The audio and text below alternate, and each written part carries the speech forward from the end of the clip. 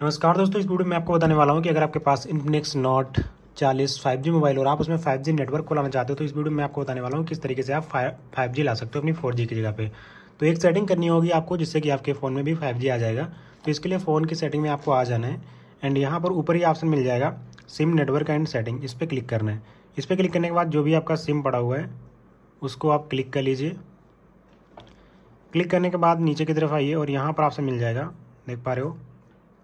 Prepaid network type इस पर जाना है। इस पर जाने के बाद आपको two G three G four G five G auto को सिलेक्ट करना है। सिलेक्ट करने के बाद ओके करना है। ओके करने के बाद एक काम और करना है। अगर आपके पास जियो का सिम है तो माई जियो ऐप में जाना है। और अगर आपके पास एयरटेल का सिम है तो एयरटेल थैंक्स ऐप में जाना है।